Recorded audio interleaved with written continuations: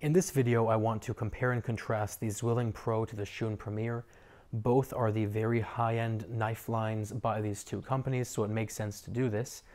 The knives are actually pretty similar, but also pretty different. They're both handmade, they're both forged, and they're both actually ground to very similar cutting angles.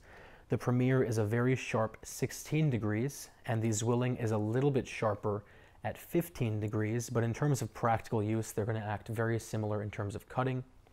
The big differences come obviously in how the knives are made.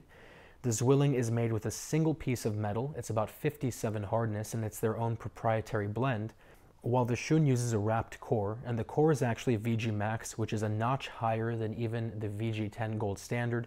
It's about 61 hardness, and what that means is these two knives are going to be very different in how they wear.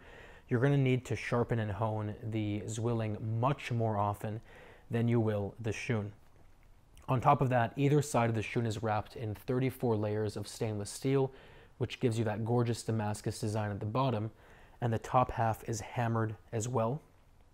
Both knives have full tangs. Obviously, the handle of the Zwilling is a very traditional German design, while the handle of the Shun is a much more traditional Japanese handle. They are very, very ergonomic, I would say, both of them. The materials are different as well. The Zwilling uses two black plastic scales, while the Shun uses a pakkawood, a brown pakkawood to be specific, which is a compressed resin-filled wood, they're both going to be very, very resistant to water damage and staining and things like that. Both have lifetime warranties, but the Shun also comes with lifetime sharpening for free, which I think is a deal breaker, especially if you don't want to have to spend $5 an inch to sharpen your knife outside, and if you don't want to have to do it yourself at home.